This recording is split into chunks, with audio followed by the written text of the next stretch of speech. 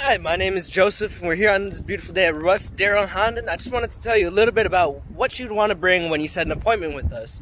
So we're going to need three things. First is an ID. Second, we're going to need a proof of income. And third, we're going to need a proof of address.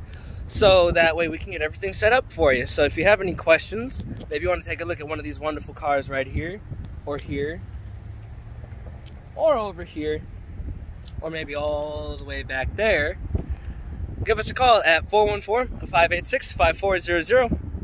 Thank you.